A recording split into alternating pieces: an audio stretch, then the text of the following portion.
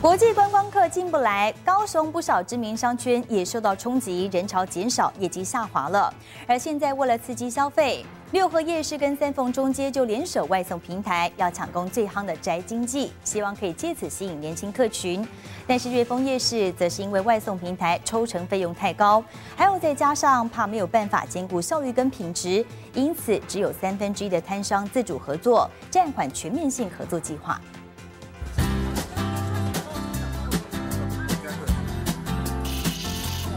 商站在外头热情揽客，想吃在地小吃，不少人都会选择到六合夜市。如果想买糖果干货，则是会想到这里。每颗都是爆开的果了。只要节庆到来，三丰中街就会涌入人潮。不过现在因为疫情关系，国际观光客进不来，生意受到影响。因此六合夜市和三丰中街管委会联手全台最大外送业者，抢攻宅经济。摊商要也要也要去改变了。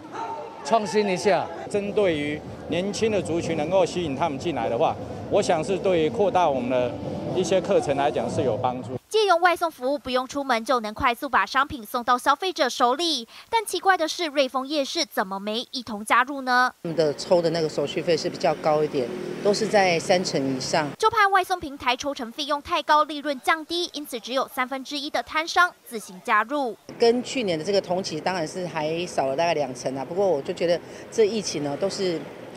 都是无法避免。疫情期间，民众减少出门机会，消费形态跟着改变，因此两商圈才会看准商机，全面和外送平台合作，希望能创造更多机会，让摊商的荷包转饱饱。记者张崇明高雄报道。